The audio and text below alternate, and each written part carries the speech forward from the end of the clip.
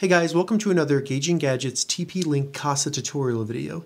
In this video, I'm going to show you a really easy way to update the firmware on any of your Kasa smart devices. So this includes all of the Kasa smart devices, including light bulbs, smart plugs, cameras, just about all of their devices. Now to get started, the first thing you're going to need to do is download and install the Kasa Smart app on your phone.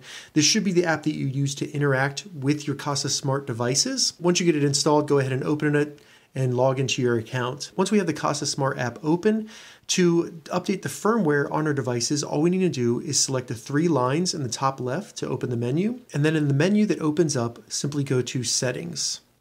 Now in Settings, you'll find Firmware Update, go ahead and select that, and then as you can see, it quickly checks all of your devices to see if they are updated. If you see the little blue check, that means that there are no updates available and they currently have the latest firmware. But if you see one that says update or one update available, all you need to do to update the firmware on that Kasa Smart device is simply select update, confirm that you want to update the device, select update, and then it will go through the process of downloading the firmware and updating it and installing it on your Kasa Smart device. Now, one thing to keep in mind when you're going to the settings to check for a firmware upgrade, your device will have to be connected to Wi-Fi and have access to the internet for it to successfully check for a firmware update. All right, so very quickly there, it took less than 30 seconds. It has updated the firmware on my Kasa Smart device. So I'm gonna select OK.